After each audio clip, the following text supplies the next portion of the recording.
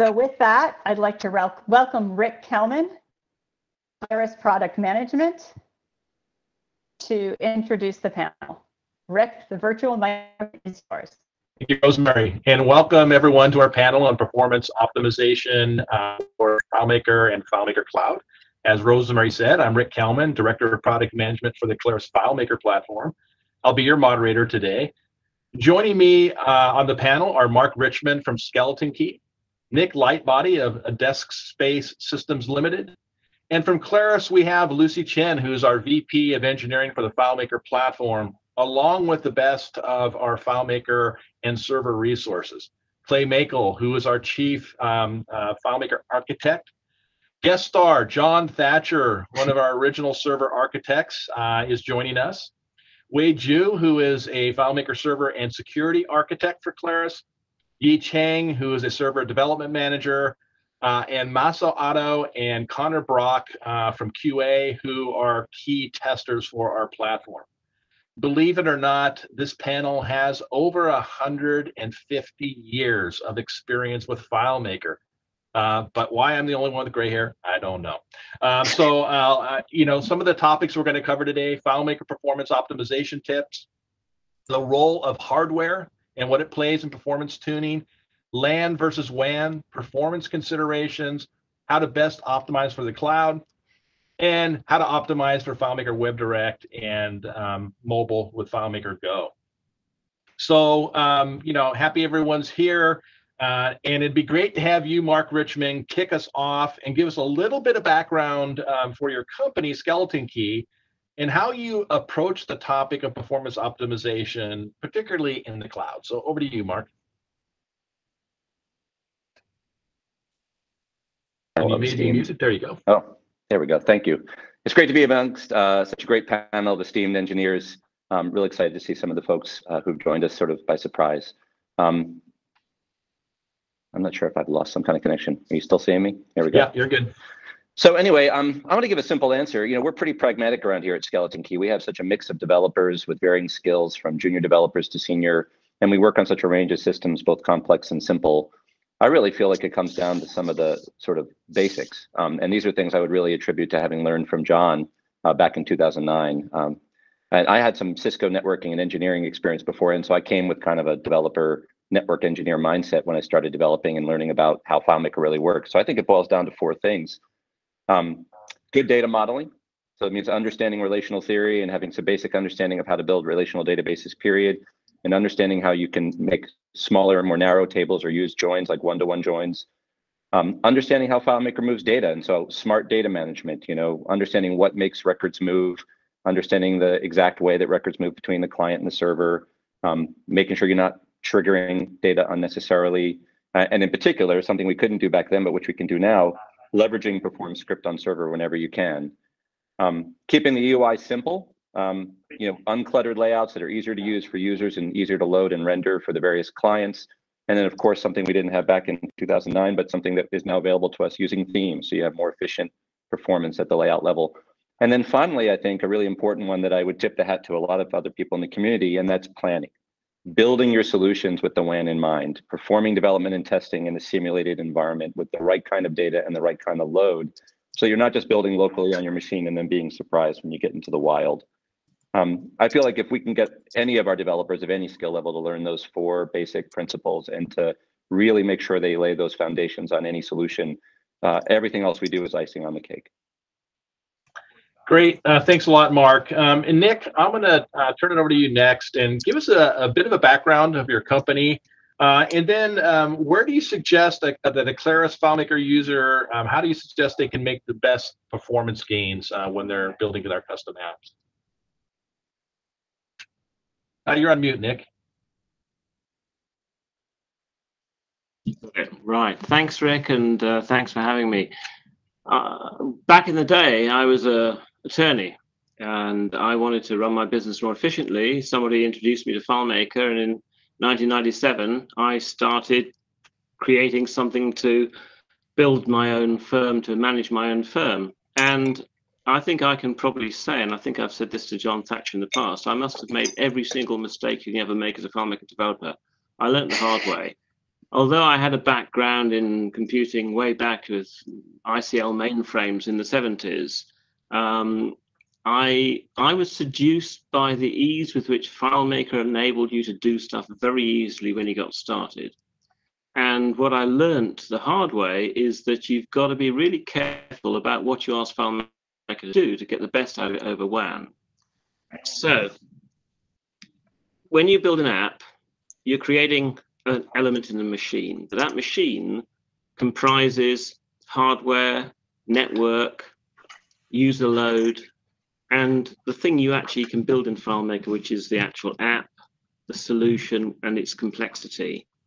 And all those different components are going to work together. And although you can control the content of the app most easily, you need to bear in mind what you're trying to ask FileMaker to do. So the starting point for me, eventually, when I, I learned my lessons, are that you have to think about what FileMaker is good at, and you have to try and ask it to do as little as possible.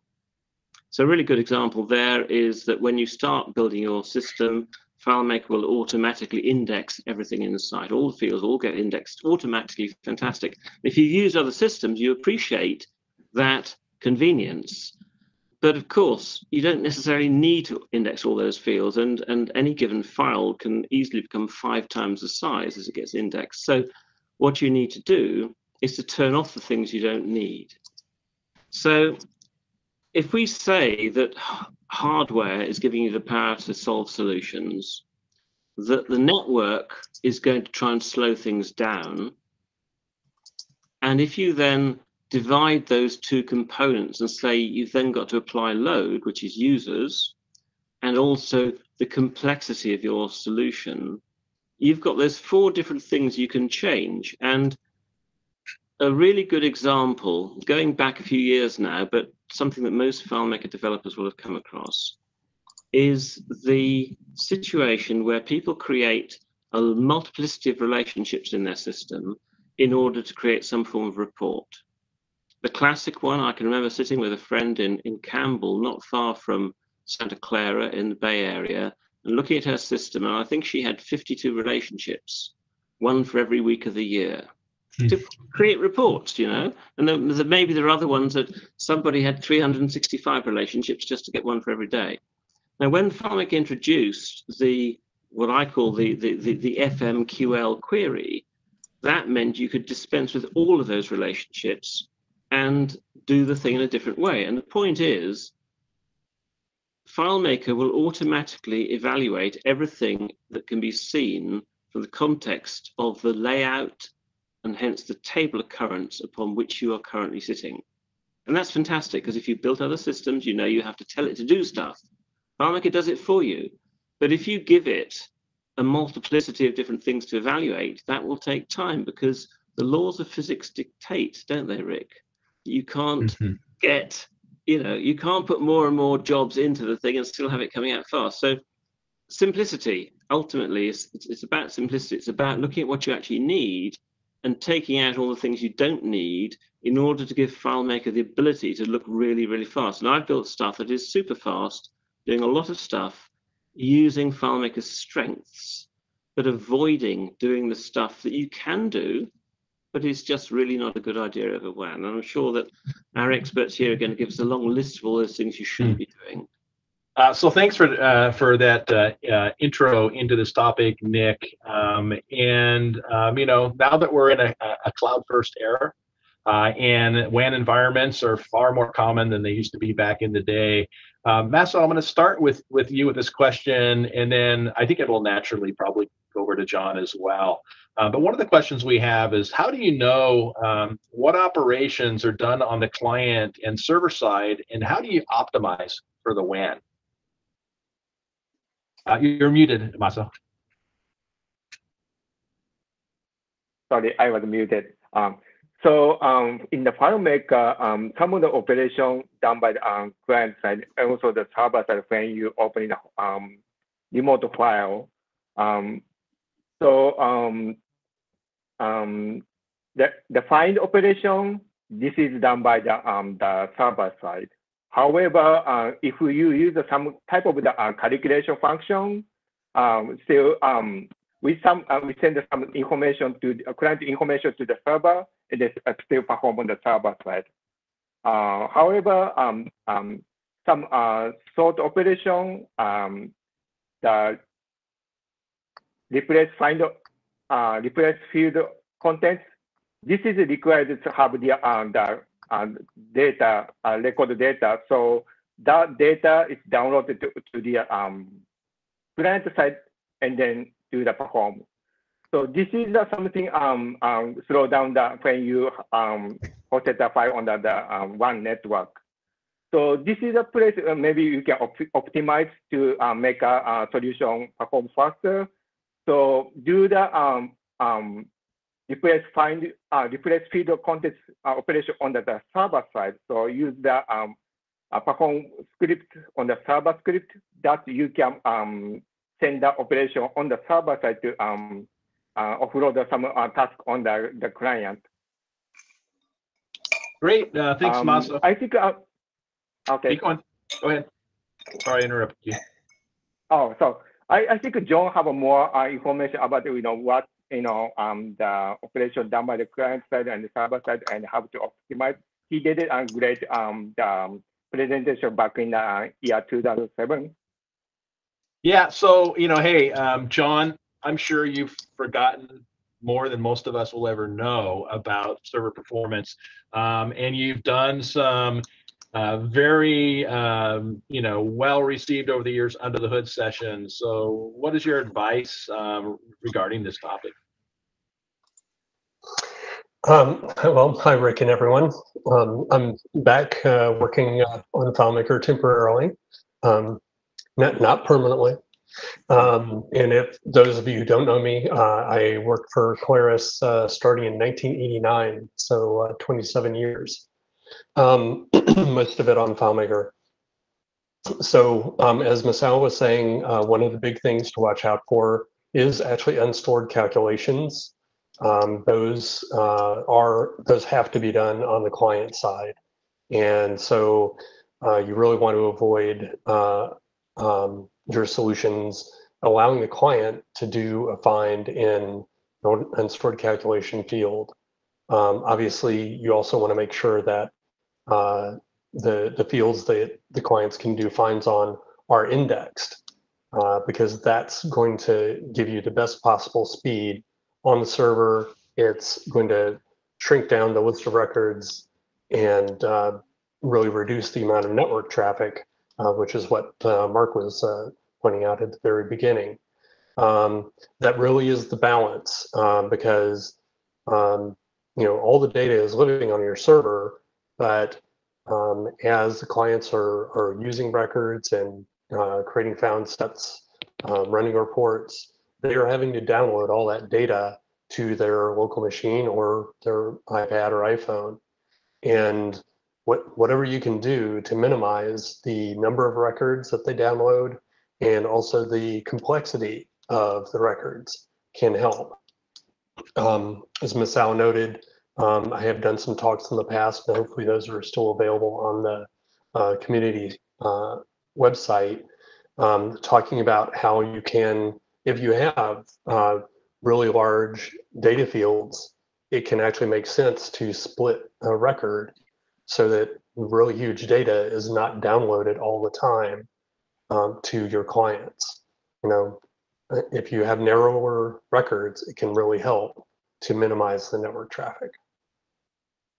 That's what I'll say for now. Turn it back over to Rick. Yeah, thanks, John. Um, really appreciate that. Um, Connor and, and Wade, I'm going to throw this over to you next. Um, whatever order you want to go. And the question here is, what are some performance troubleshooting tools that you can recommend? Uh, absolutely, I'd be happy to, to take that one. Um, I use different tool sets uh, depending on what platform I'm working on. And uh, just for just for some background, I've done a lot of uh, troubleshooting a FileMaker server. Um, a lot of you have seen me in at the tech support booth at previous uh, DevCons, and I've been working in the support infrastructure for uh, close to 10 years before uh, joining the QA team. Um, so I, this this is one of my favorite topics about service, how to find the problems and fix the bugs. Um, so if we're uh, looking at Windows, um, of course you've got task manager that you can monitor uh, you know, how much CPU and RAM is being taken up by each of the FileMaker server processes. Uh, but then there's also um, a, a, hidden tool suite that's uh, called Sysinternals that is put out by Microsoft that has just a lot of cool stuff too that I'm not sure how, how many people in our community are aware of. Uh, a specific one is called Process Explorer, which gives you a little bit more detail about each of those um, FileMaker processes. You can actually see the threads that are running and get a little bit more um, out of each one. Um, on macOS, of course, we've got Activity Monitor to uh, monitor those same types of things. And um, for anyone who's running uh, Xcode on macOS, there's a, a, developer tool called Inspector, which just, again, get, goes into a really robust analysis of these processes. Um, on, on both platforms, and that we've we've got probably one of my favorite feature of FileMaker Server is uh, the top call stats log. Um, of, all the performance cases that I've worked on, that's usually my go-to. Let's start here. Let's get um, first baseline of of all the stats logs, but then for specifically top call stats, not only can you see uh, what types of operations happening on the server, you can see which of the users um, are responsible for the slowdown. And um, I, I don't know if this is the right time to talk about it, but there's uh, uh, ways to take the table IDs and field IDs that you get out of the top call stats logs, and uh, those can be searched into uh, the XML DDR of your solution to get real field names, real table names. And so that's uh, uh, there's just a whole lot that's that's there that you can do on your own um, to sort of figure out where you need to to begin your focus. Great. Know, Wade, uh, did you want to add to that? Yeah, Wade, you're muted. There you go. Oh, uh, thank you, Colin. Uh, thank you, Rick. Uh, yeah, so, so Colin actually had a very, very, very detailed description that uh, uh, besides that, actually in the 19.1 ETS version, actually we offer some more tool inside ourselves. So for example, you can enable to see the remote call timing information. So that will give you some more detailed information about each request response and time spent. And also we offer some other other debug and, and feature flag. So you can, for example, you can toggle the Pro cache on or off. So if you haven't tried download the, the our 19.1 ETS, ETS version, I will suggest you download it and try. We would love to see feedback from you. Thank you. Thanks, Wade. Um, and bring it up 19.1 and sort of what's coming on the horizon. Well, we can't tell you the exact date. Remember, we are uh, moving um, much more in agile fashion. You certainly aren't waiting uh, the year uh, in between server releases, which means we can move a lot faster. And I'll tell you, our philosophy for FileMaker Server is first and foremost, its job is to be stable, right? Its second job is to be performant. Uh, and some of the stuff, and Lucy, I'll, I'll probably turn this over to you, and then and then uh, you can probably call on some of your team who uh, is most knowledgeable about this. But some of the things that are coming down the pike in 19.1 that really excite me related to performance are things like use of a sharing lock um, for HBAM file access, um, the parallel index find operations, sorting on the host, uh, and memory-based key comparison during indexing. And all of these things, I think, have the potential to significantly uh, enhance the performance of server. Um, so Lucy, uh, um, what can uh, you say about that, or, and who on your team uh, is best to sort of go a, a, little bit deeper on the implications of these things? Sure, I'm Lucy Chen, VP of Engineering for FileMaker Platforms. I joined 25 years ago, and that was the first year of uh, DevCon. 25 years, a lot have changed. Just today to see John Thatcher, Clay, Wade, and the crew talking to 1,200 people online bring me to tears for a moment. I want to say that COVID has changed how we think, how we do things. And we have to do it with less people and more work with the difficulties in de-densifying work environment. So time is definitely the critical part and speed is part of the things that we really want to do our best for the FileMaker platform for a whole new way to support our customers. So PH, PSR is definitely the key thing. We spend a lot of effort on this and it's coming soon. It's exciting. We also come with some blogs with it. It's coming often in the next few months. So I want to have Wade E jump in to dis to describe the things that we've done for PSR in 19.1 coming. So Wade, why don't we start with you? Uh, yeah, so so the the thing is uh, in 19.1 is uh, basically we still keep the PLL code, the page level locking code in there. However, we we disable actually we disable by default in the the 19 FileMaker 19 release. So we keep that disabled. I will suggest you probably keep that disabled. And on the other hand, we have tried really hard, try different ways to first to improve the stability and reliability and, and try to keep the same level of performance of page level locking. So I'm happy to share with you. So we find out the sharing lock uh, it can achieve a similar kind of performance and some, some of them actually in internal tests that could be even better than page level locking. Yeah, so besides that, we have uh, tried some uh, different things like, like we try to facilitate uh, like a parallel index find and sort on server. And we even try to like a parallel sort and like a com compare multiple level key uh, in memory instead of in disk base. So we have tried quite a lot of these things. So again, like I suggested before, please, uh, if you haven't tried the ETS version, please sign up and download it and give us feedback. So Craig, do you want to add a couple more, couple more colors about the sort or other things? Thank you.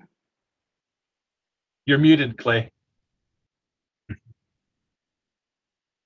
Yeah, um, I guess seeing some questions about what parallel finds are, but uh, or sorts are. It, it's basically just taking taking the, the list of records and having threads sort different sections of them and doing. It's basically a, a merge sort on using multiple threads and and um, uh, we we've been playing around with this technology over the different years and stuff like that, and we we found different issues because because everything's interrelated. The the HBAM changes that uh, uh, Wade was mentioning about doing the sharing lock. Uh, it, there, there's kind of like four levels of locking that have been in HBAM over its lifetime now. There was the the the, the exclusive lock that only one thing at all could work in HBAM. Then there was the file level locks. And then we went all the way down to page level locking, which was a very fine grained locking, which was complete, very complex. But now we, we've uh, this sharing lock that uh, that uh, Wade is talking about is kind of a, a, halfway point between file locking and page level locking. It, it, it, does a sharing lock on the file level. And we found out that it's a lot simpler process. And uh, when page level locking was done first, we thought we had to go down and do this very low grain locking. But we found out that uh, the, the performance of FileMaker is actually uh, nearly the same as page level locking if we just go to the simpler sharing lock. So we're, we're making the code simpler. And when you make things simpler, like uh, uh, Nick and Mark have been mentioning, you know, simple is faster, no matter what you're doing. So we're, we're, we're trying to go through and make things simpler there. Uh, the, the sorting we've tried around, the sorting to do on parallel, to have multiple threads doing sorting, we need the sharing lock at least, or page level locking. It, uh, we implemented it a long time ago, and the, the, the two levels of locking, the slower level locking stuff, you didn't get any performance improvement. So we've been waiting for HBAM to do that. The uh, sorting on server has been another thing that has been laying around and has been requiring things like parallel sorting on the server. So we've had these different things laying around all these different times. And um, some something that we've done different now in the ETS program that you've heard about is that we basically have put everything inside the product now, and uh, the ETS people can turn on things on and off to to try out different combinations and see how it affects their solutions because it's kind of hard for us to figure out everything that everyone is doing and having a larger testing group going through to, to say oh you know you know you know this person a may have oh parallel sorting is working great on me but for you know person b it really is you know slows down completely so then that goes back to connor and connor has to figure out why uh what's going on and why there's a difference there. So, um, And Connor thanks you for that. Yes. Um, uh, hey, Clay, I've got a couple of follow-up questions. People asking, what is HBAM? Can you give a Oh. real quick uh, explanation of what that is? Uh, like Jen mentioned, you can go back to some previous talks that we've given. You know, um, the the the, the, the is the uh, how we store everything inside FileMaker. There's one FileMaker file. It's a big B tree. Uh, you can look up uh, B tree is a very common um, computer uh, storage mechanism, and we split this B tree across all these 4K blocks that a FileMaker file is built in. And HBAM is basically the layer that takes these these uh, the, the B tree is like a tree, so data is stored at leaves, and you have all these branches, and each branch has a path to it. And so, like record A may be on uh, table A, the table A branch, in the record three branch, and then in the twig of 14 is where the field is stored. And HBAM is the thing that figures out the, the these uh, addresses, these branches and twigs, and where the leaf is actually stored, which block on disk that thing is stored in. And when you have multiple people accessing this stuff, you have to have a, a, a like a, a cop saying who can talk to which block at which time, who can make writes to these blocks, who can do reads to these blocks. And that's the different locking levels that we've been playing around, which PLL had a cop basically almost at every leaf, um, where the, the sharing lock has has like one main cop and three little ones running around doing other things, which is simpler.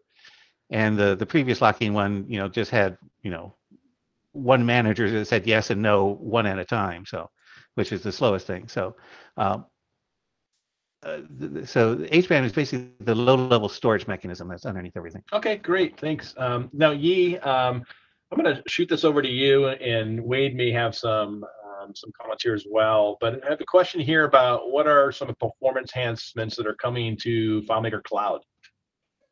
Um, I, I think we, we see the one major issue is the uh, completeness of data centers.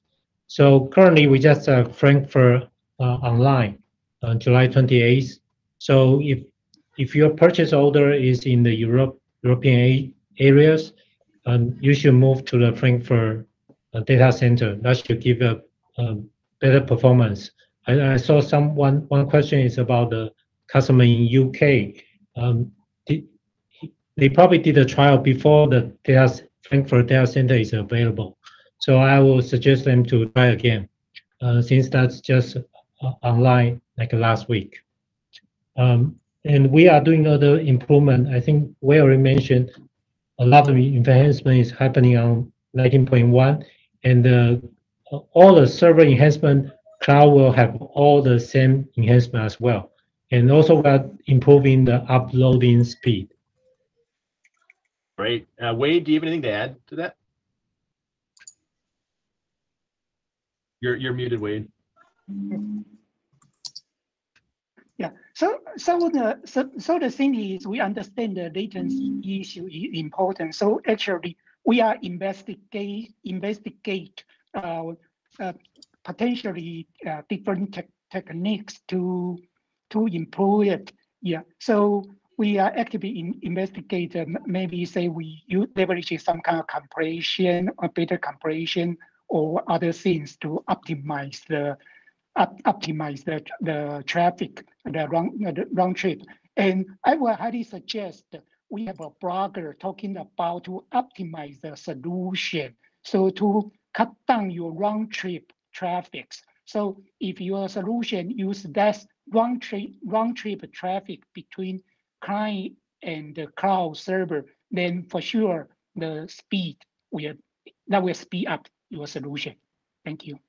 Thanks a lot. Um, You know, following up on hardware, and I'll throw this out to uh, to anyone on the panel. Um, over the years, we've often heard of people saying, "Well, gosh, I just have my server running on a Mac Mini under my desk, and you know, it's also got other services like Mail Server and so on." And our advice has always been, if you've got something business critical, that is a value and you should dedicate hardware to that. So maybe Mark, I'll start with you on what are your um, thoughts on sort of the hardware that you should dedicate to uh, to your FileMaker server? So I'm certainly not the best um, candidate to answer hardware questions because I don't deal with them very often, but I think that's somewhat telling. You know, my impression is that um, whereas it used to be we had dedicated servers uh, and that was the standard on-prem, as we move to the cloud or even as clients have virtualized their own infrastructures, it's become clear to me that the separation of hardware really doesn't exist anymore. I mean, there's shared data storage systems and they're being virtually segregated. And so even if the mail server is on another box, it's still using the same storage tool. And odds are that tool has moved to a fiber-based, you know, a back end or has a much larger plane. And so as a result, um, the performance improvement is getting better all the time. It, it feels to me like that's important, and certainly in large solutions with large data, uh, lots of data or lots of users, um, what kind of hardware you've, or resources, I should say, you've allocated in your virtual machine to service that particular solution and box is important. And if that particular operating system on that particular virtual machine is doing all sorts of other things, um, then you're going to definitely, you know, start to fight for those cores and and I guess you could argue fight for some of the I/O to that storage.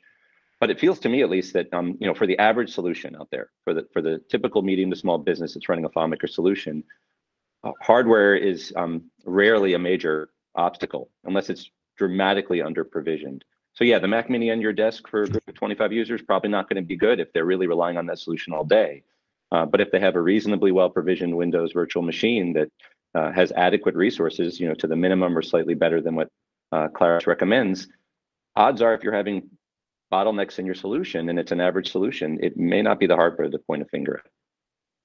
Hey, Nick, what has been your experience um, on the hardware side as far as the uh, impact?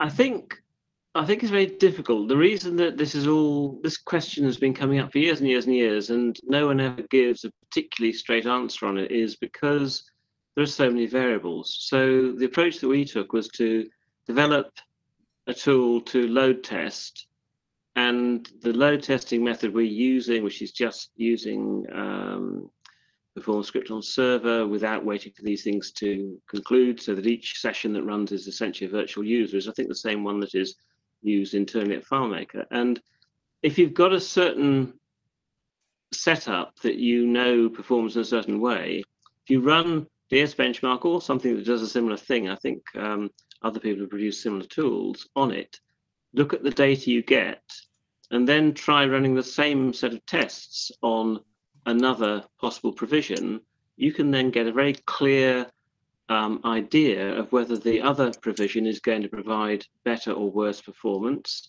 and the extent of it.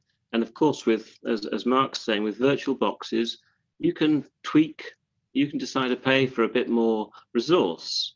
Um, with a well-designed system, a system that's actually been designed to run well on WAN, you can do quite a lot with a relatively modest hardware footprint. The performance of FileMaker Server now, compared to the performance we were seeing with, for example, FileMaker 13, is immeasurably better.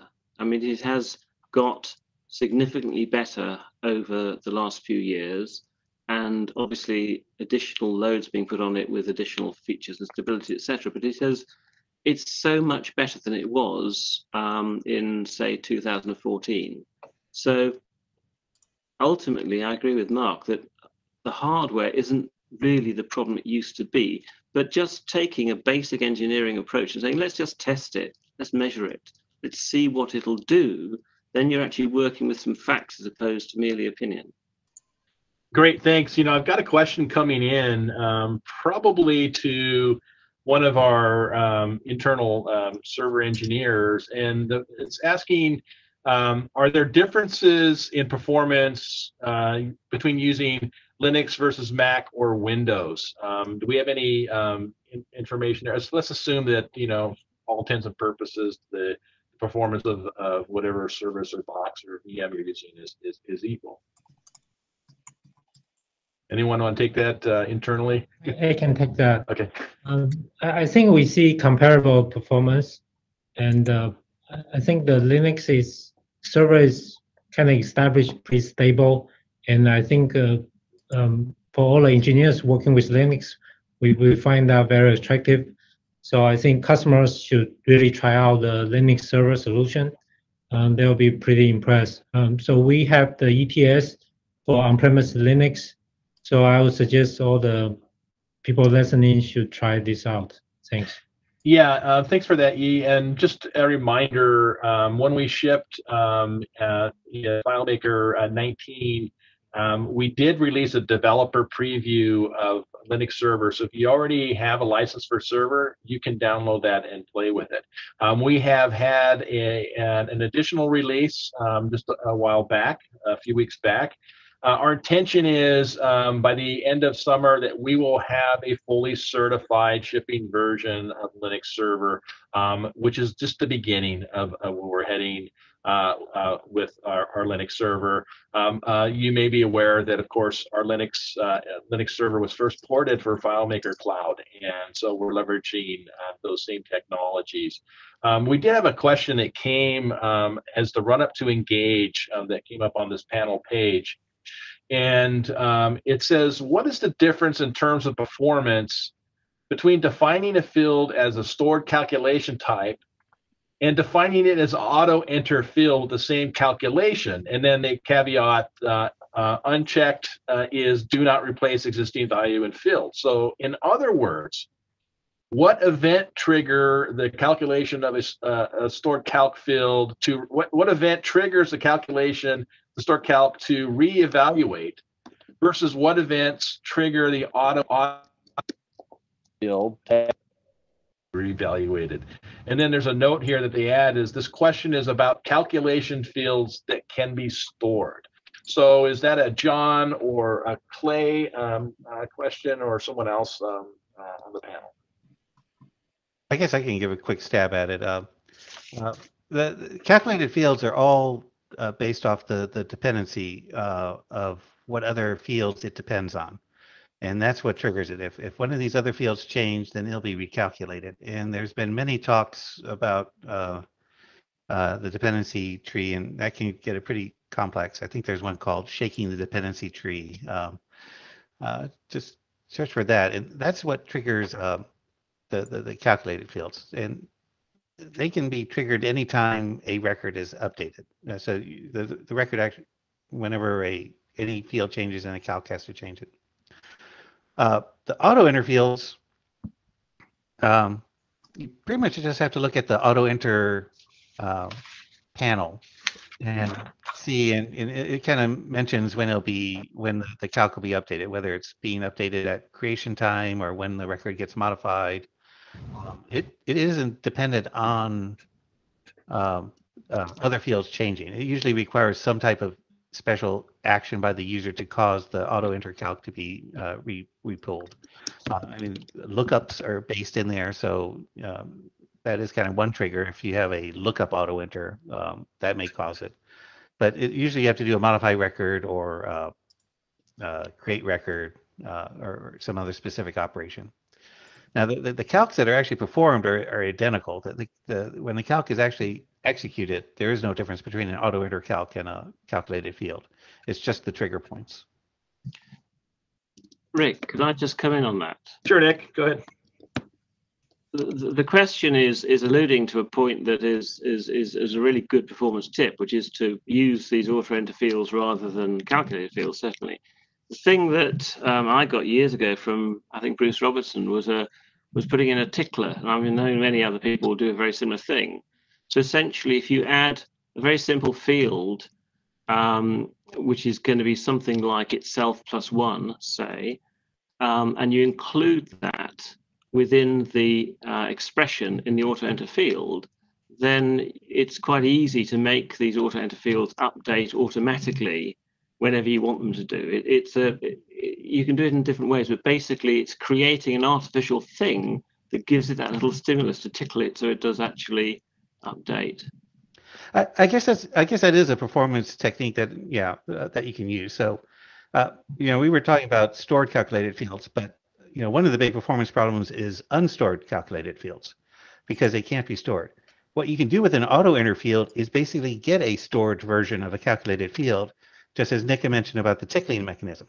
It's just that the the, the problem you have to worry about, and, and you have to think about this with your solution, is that you need to know when you need to do the tickling to update those values. So you, you could actually have a complex uh, calc based on related fields that would normally be unstored as a calculated field, but you could put it as an auto enter calc.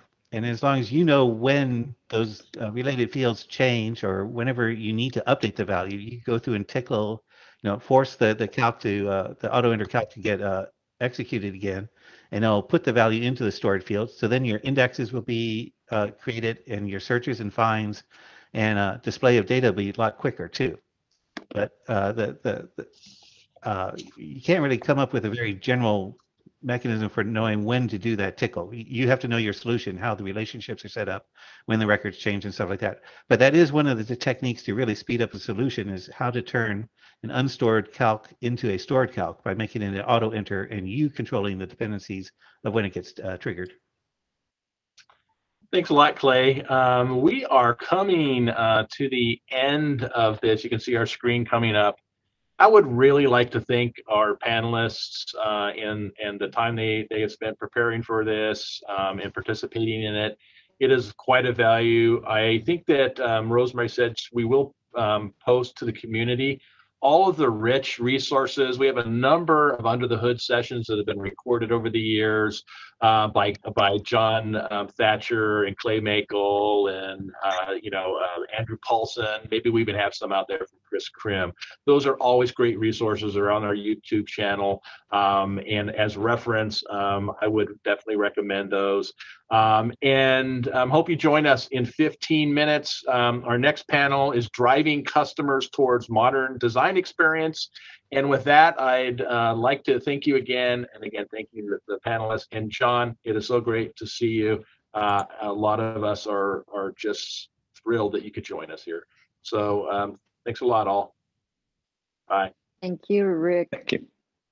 Thank you.